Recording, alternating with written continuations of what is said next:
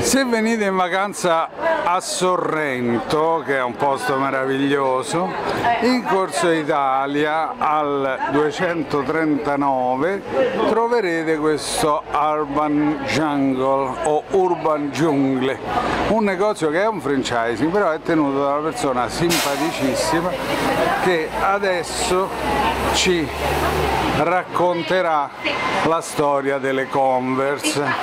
Eccola qui, si chiama Anna, è molto simpatica, amica, amica sua e ci racconterà. Vediamo la Converse innanzitutto, che io è la prima volta che vedo una Converse. Dov'è? Dov'è la Converse? Dov'è? Ah.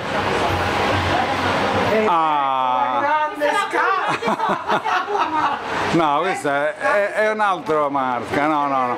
Noi siamo sulle Converse, che sono queste, la scarpa di Pippo sembra, però insomma c'è una storia. E adesso ce la fa, è un po' filo americana, eh, un po' filo inglese, filo americana, però. Allora, allora siamo qua.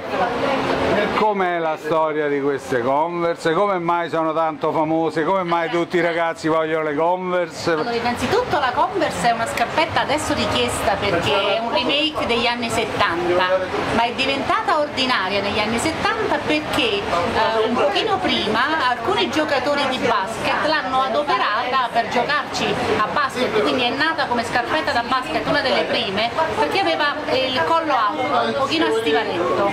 E quindi tutte le scarpe che nascono dagli sportivi poi ovviamente vengono prese dai, gio- fan e dai giovani, e quindi ne hanno fatto una, una, come dire, una bandiera portante. E adesso siccome il momento richiama il periodo di moda degli anni 70 è sempre molto richiesta. E le portava Mick e le Jagger, portava Mick Jagger, le, le por- le hanno portate tutti i, i riferimenti musicali e sportivi di riferimento.